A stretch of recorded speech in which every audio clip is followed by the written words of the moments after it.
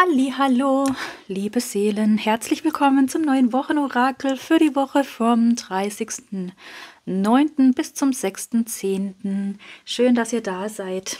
Bevor ich mit dem Orakel beginne, möchte ich mich bedanken bei, ähm, sie hat keinen Namen hinterlassen, äh, eine liebevolle Frau mit Kind, die mich schon seit zwei Jahren schaut, die ich schon seit zwei Jahren begleiten darf. Ähm, wenn du das hörst, es ist wohl behütet angekommen, das Deck. Ich habe mich sehr, sehr gefreut. Halloween ist genau meine Vibes. ja, für alle, die es noch nicht wissen, ich bin Skorpion. Ich habe im November, Anfang November Geburtstag. Also der Herbst und das Gruselige und das Halloween und das Düstere und Nebel und sowas. Ah, das ist meins. das ist meine Jahreszeit. Also, liebe Seele, liebe Frau mit Kind, vielen, vielen herzlichen Dank. Ich habe mich sehr, sehr gefreut und ganz liebe Grüße an dein Kind. So, nun würde ich sagen, wir starten direkt mit dem Orakel. Das ist das Tarot. Das sind Orakelkarten, das sind drei Decks zusammen. Und das ist mein ähm, Lenamore-Deck, das ich neu äh, gemalt habe, äh, entwickelt habe, oder wie nennt man das? Ja, ich habe es selbst gemalt. Ähm, und ja, wenn du das auch haben möchtest, das findest du in meinem Etsy-Shop. Äh, den Link findest du unter dem Video in der Infobox. Und ähm, diese beiden Karten, die ich hier verwendet habe, oder Decks sozusagen, die findest du auch unter dem Video, wie sie heißen und so weiter und so fort. Also, dann schauen wir. Wo lege ich das hin? Hier. Okay.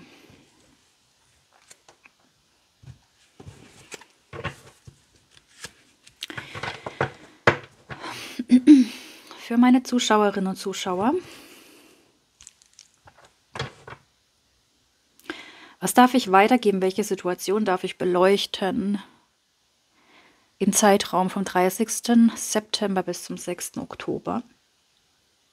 Aber was darf ich sprechen?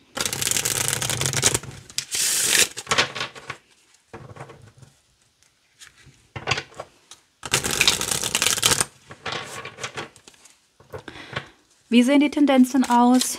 Was kommt in diesem Zeitraum?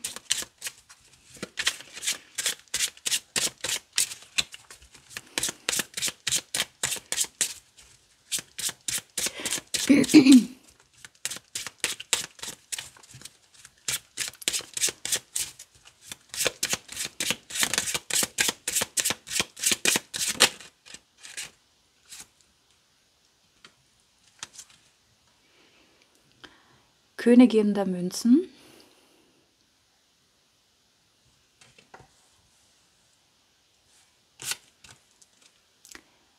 Ass der Münzen.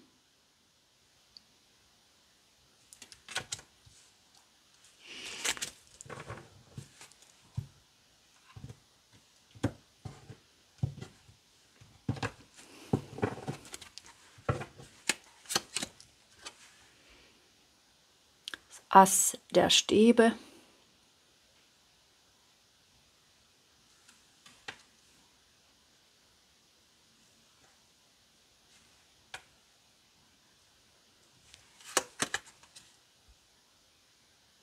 Ritter der Schwerter.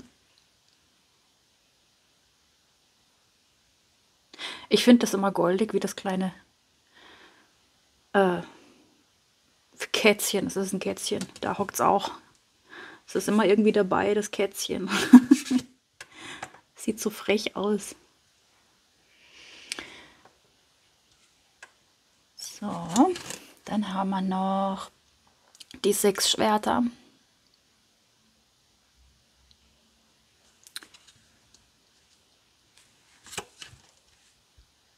Ja, die Welt.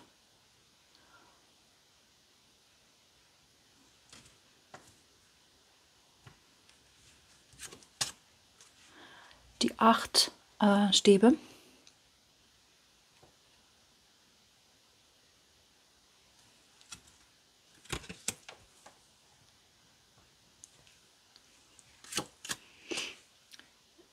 sieben Münzen.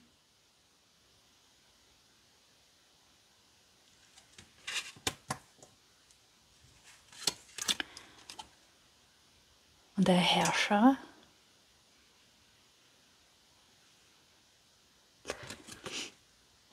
Ich finde es, äh, es wurde mir gerade so gezeigt. Ich finde es lustig. Äh, der Herrscher, ne? Und sein Hirn hat dann eben dran. Im, im Blumen, in der Blumenmaß.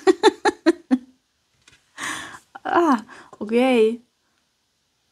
Haben sie vergessen einzupflanzen irgendwie oder so. Frankenstein. Alles ist dran. Nur das Hirn nicht. Okay. Naja. Und nochmal ein Ass. Ähm, das Ass der Kelche.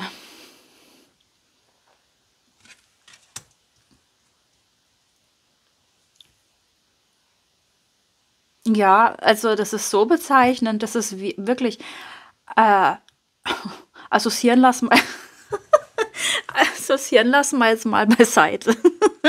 das ist die Energie, die hier reinkommt, ja, und die sechs Stäbe.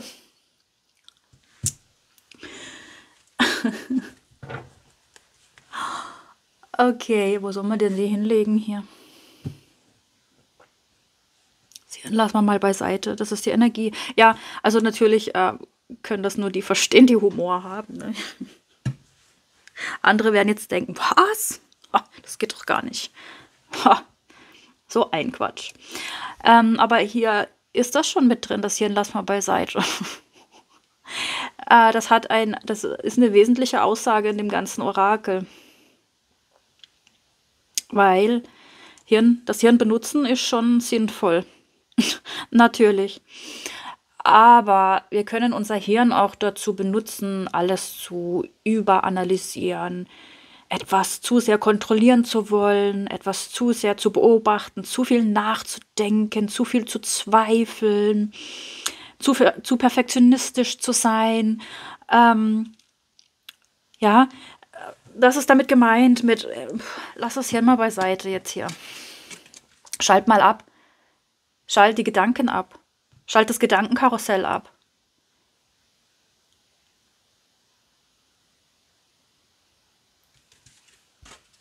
Hier ist das Herz. Asta Kelche. Lass los. Weil ähm, die sieben Münzen liegen hier. Es geht um eine Situation, hm, ja, wo du dazu neigst, etwas zu sehr zu beobachten. Wo du gezwungen bist, gezwungen bist, hier ist auch eine Kette um seinen Hals, also er ist gezwungen, da zu sitzen. Äh, wo du dazu gezwungen bist, irgendwie zu warten. Wo du Geduld haben darfst. ja. Ähm. Und das hören jetzt hier wahrscheinlich die wenigsten gern, weil ich sehe euch in einer Energie, wo ihr das eigentlich gar nicht haben möchtet. Wo ihr, ihr seid in einer schnellen Energie unterwegs. Das sehe ich einmal hier mit den äh, acht der Stäben. Das ist eine rasche, zackige Energie. Ihr wollt Fortschritt, ihr wollt Taten sehen, äh, ta äh, ihr wollt in die Handlung gehen, ihr wollt Ergebnisse sehen. Äh, und zwar positive. Das Ass der Stäbe ist hier und das ist in euren Gedanken. Das heißt, der Stäbe, da kommen ja auch ganz viel Feuer durch. Temperament, Impulsivität, Spontanität, auch Ungeduld. Und es ist wie, die geistige Welt kommt jetzt um die Ecke. Es ist wie, ihr seid hier dieses ähm, Teufelchen hier. Aber jetzt nicht im negativen Sinn. Es ist halt ein Halloween-Orakel, ja. Ihr seid dieses Wesen. Ähm, einfach neutral gesehen als Wesen. Also. Ja, und dann kommt die geistige Welt um die Ecke. Du willst hoch hinaus, du willst schneller, höher, weiter, ungeduldig bist du. Das sehe ich auch hier. Du neigst dazu mit dem äh, Ritter der Schwerter, der ist auch absolut ungeduldig und innerlich unruhig und will immer in Bewegung sein und ähm, lieber gestern als morgen ankommen oder ähm, das ist Stress und Hektik. Du kannst dich selbst hier unter Stress und Hektik setzen, wo es eigentlich gerade nicht sein müsste nächste Woche oder diese Woche, je nachdem, wann du guckst. Und es ist wie die geistige Welt kommt hier um die Ecke und hält dein Schwänzlein. Hey, jetzt mach mal langsam, warte doch. Ja, es ist jetzt nicht nötig, noch mehr zu tun. Es ist jetzt nicht nötig, noch mehr Gas zu geben. Du hast alles getan, was du tun kannst. Alles. Weil du bist hier der goldige Gärtner da mit dem Kürbiskopf. Das ein Kürbiskopf. Ja. Äh, das bist du. Und du hast alles getan und schau mal, wie gepflegt das aussieht. Schau mal, wie ordentlich das aussieht. Die Kürbisse sind gegossen, sonst würden sie nicht so schön wachsen. Und ja, also es ist alles in Ordnung. Du hast alles getan, das ist die Botschaft. Und jetzt geht es darum, nicht noch mehr zu tun.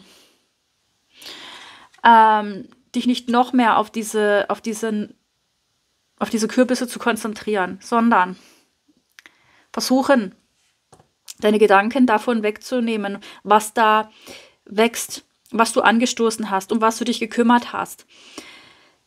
Äh, manchmal ist es eben nötig, dann, nachdem wir alles getan haben, eben den, den Dingen ihren Raum zu geben, sich zu entfalten, selbst zu wachsen. Manchmal ist es eben, gibt, es gibt Phasen im Leben, Zeiten, da ist unser Zutun einfach zu viel, da macht das gar keinen Sinn.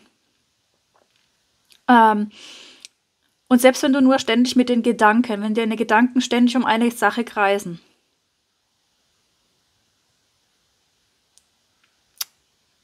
direkt gesagt, hör auf damit. Das fällt dir schwer, das nehme ich hier wahr. Deswegen ist ja dieses Bild hier so bezeichnend mit, mit, äh, mit dem Hirn. Ja. Mach mal das Hirn beiseite in dieser Angelegenheit. Mach so eine Blumenvase. ja. Kümmer dich um dich selber hier. Kümmer dich auch vielleicht um andere Sachen. Nicht nur um die eine, weil mh, hm,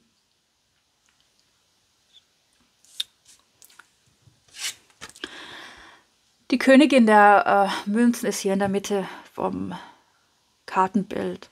Das ist eine Person, die sehr tüchtig ist, eine Person, die sehr verantwortungsbewusst ist, eine Person, die ihre Visionen und Vorstellungen hat. Äh, das ist eine Person, die ihr Business hat.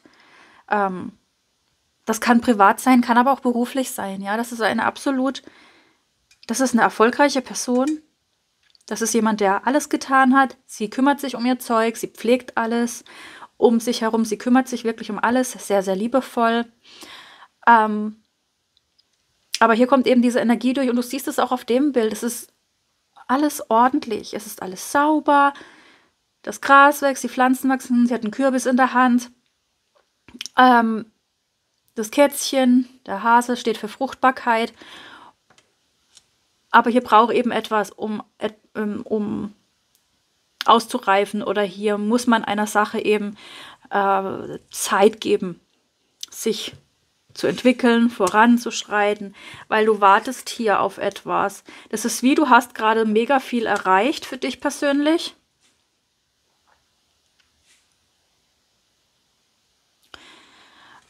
Und wartest direkt auf das nächste. Du wartest direkt auf das nächste. Das Ass der Münzen ist ein neues das, das, der neue Kürbis, der hier endlich reif sein soll, den man endlich pflücken kann.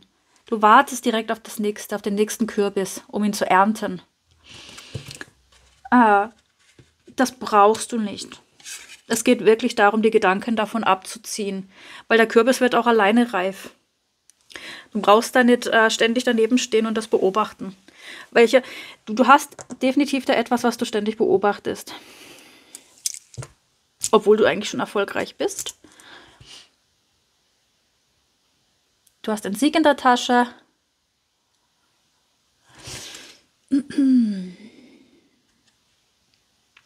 Du hast in der Vergangenheit alle Herausforderungen überwunden. Du darfst stolz auf dich sein. Du bist in einer guten Richtung unterwegs. Und eigentlich nehme ich das so wahr, du weißt das. Ne? Das ist dir bewusst, dass das keinen Sinn macht, ständig etwas zu beobachten, zu kontrollieren, drüber nachzudenken. Auch die Weltkarte sagt hier, du hast gerade einen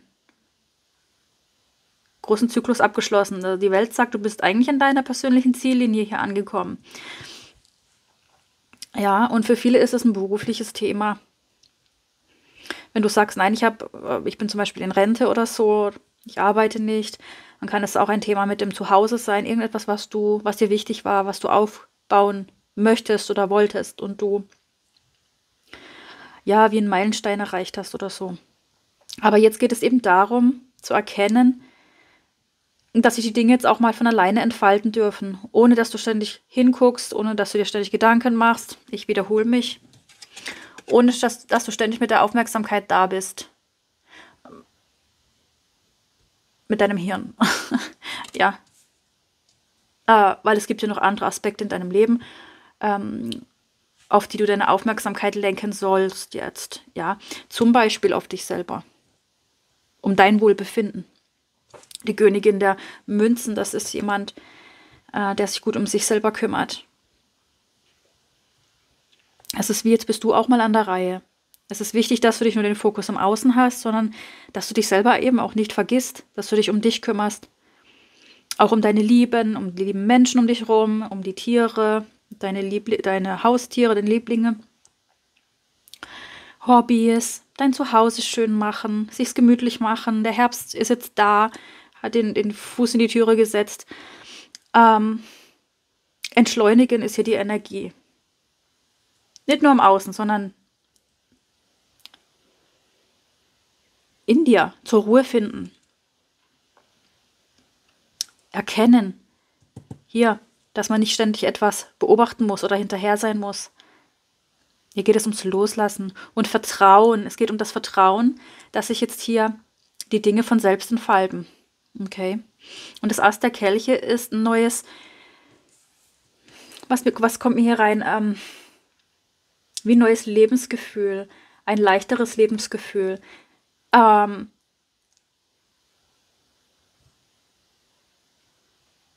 dieses äh, im Herzen spüren, dass es jetzt wirklich an der Zeit ist, dass es richtig ist, nicht mehr so viel im Kopf zu sein. Ja, gerade wenn du in der Vergangenheit eben viel nachdenken musstest.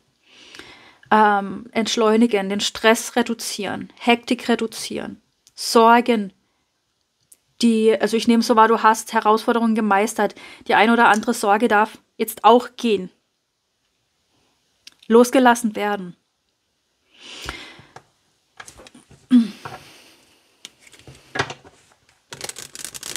Das Ast der Kelche ist in erster Linie das Herz, Selbstliebe, Selbstfürsorge, Liebe zu den Menschen, die du, die dir nahe sind, zu den Tieren, wieder die Magie im Alltag spüren können.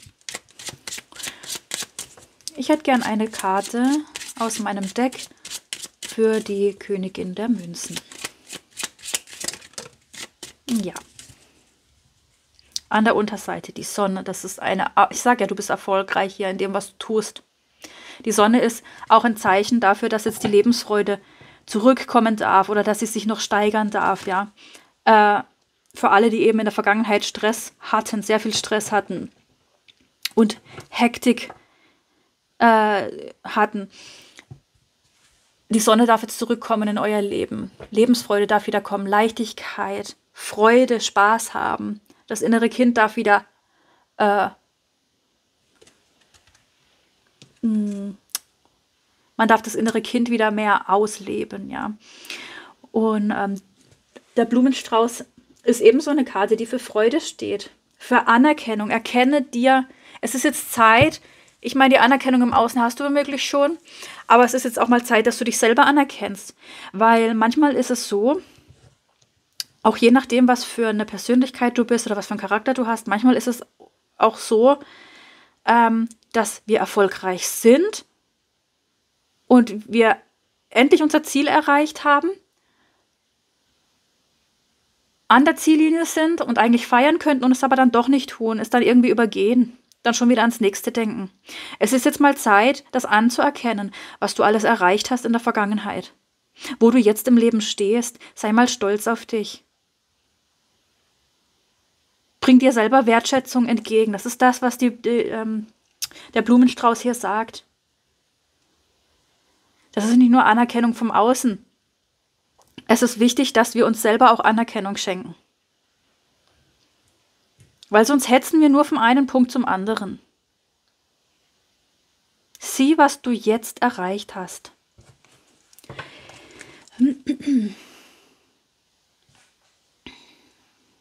Ich hätte gern eine Karte noch für den Herrscher.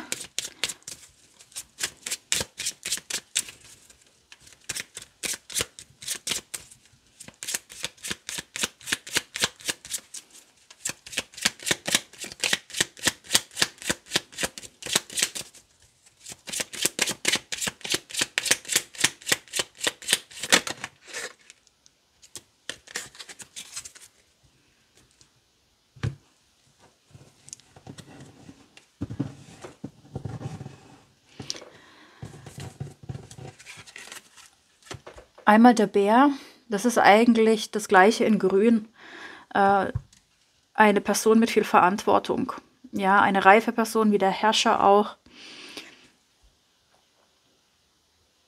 Eine autoritäre Energie ist hier. Das bist du. Das ist das, was wie, wie du gerade in deinem Leben bist und was du auch in der Vergangenheit jetzt geleistet hast. Der Herrscher und der Bär stehen für Leistung. Autorität, Führungsposition, Verantwortung, Reife, Stärke, Mut.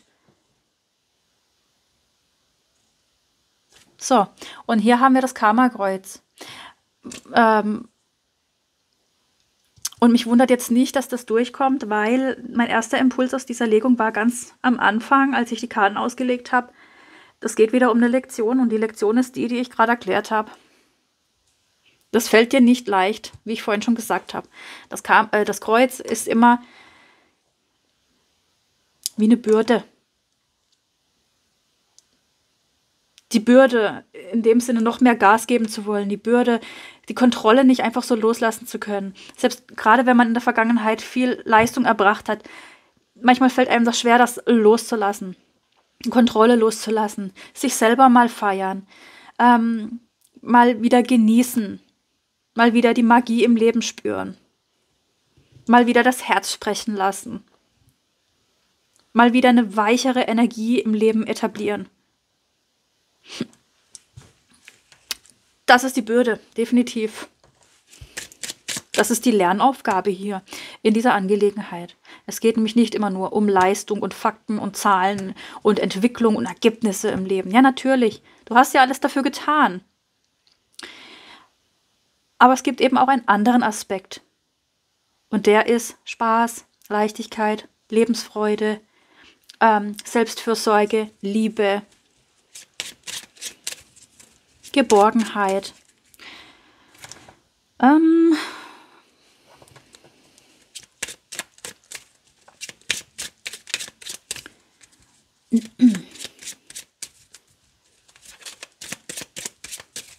Ich hätte gern noch eine Karte für den Ritter der Schwerter. Dankeschön. Ja.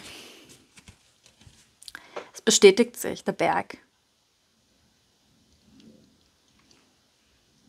Aber da hinten geht schon die Sonne auf. Ja, das ist, du hast Herausforderungen gemeistert, du musstest dich regelrecht durchboxen, auch in der Vergangenheit. Äh, du bist darauf gepolt, Hürden zu, äh, zu überwinden. Du bist darauf gepolt, gerade Leistung zu bringen. Du bist darauf gepolt, mutig zu sein, stark zu sein. Und das gilt es jetzt erstmal loszulassen nächste Woche. Ja, das heißt nie, nicht, dass du nie wieder in deinem Leben Leistung erbringen sollst. Es, ne? Du weißt, was ich meine wahrscheinlich. Alles braucht einen Ausgleich. Man muss alle Aspekte im Leben in Harmonie bringen. Und das, was jetzt im Vordergrund steht, habe ich jetzt mehrmals erklärt. Jetzt hätte ich gerne noch eine Karte für das Ass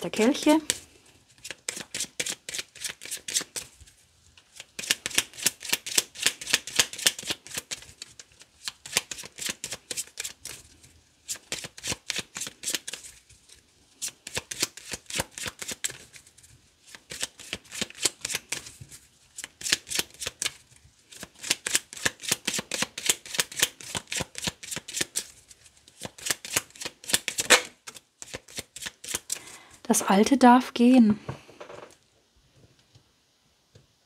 Die alte schwere Energie darf gehen. Die alte schwere Energie, die darf da in diesem schwarzen Sarg zurückbleiben Und der Schmetterling steht für Transformation und Leichtigkeit hier.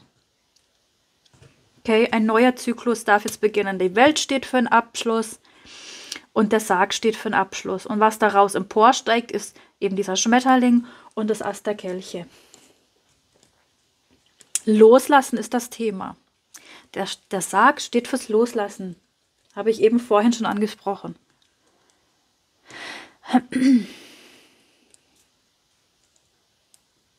Ja, ich glaube, die Botschaft ist klar. Ähm, ich lege jetzt noch als zusätzlichen Impuls äh, eine Orakelkarte oben drauf.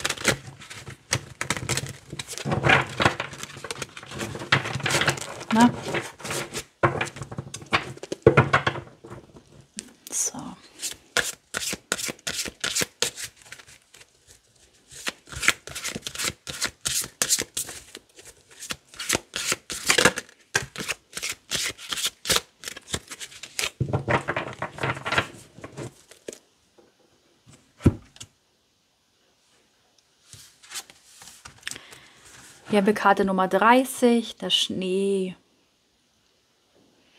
Es gibt eine Schönheit im Göttlichen, die sich verwebt mit deinem Sein. Eine magische Verzückung, in Reinheit verliehen. Es ist diese Energie hier.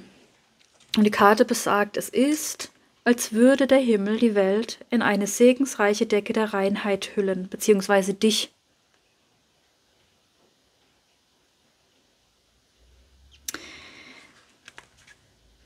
Ich möchte das Begleitbuch dazu nehmen. Hier.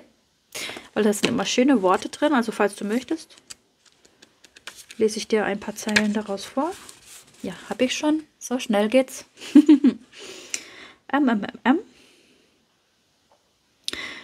Hm, jedes Gestöber bietet die Chance, sich mit dem Göttlichen in Verbindung zu setzen und um Weisheit und Orientierung zu bitten. Das Element Wasser wird seit jeher mit dem Zugang zur geistigen Ebene assoziiert. Bei den heilsamen Eigenschaften von Schnee verhält es sich ähnlich.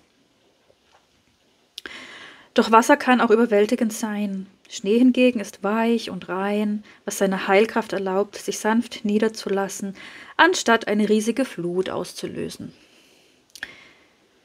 Schnee fällt in deine Legung, um dich daran zu erinnern, sanfter und weicher zu werden. Genau. Ne? Herrscherenergie, das Gegenteil.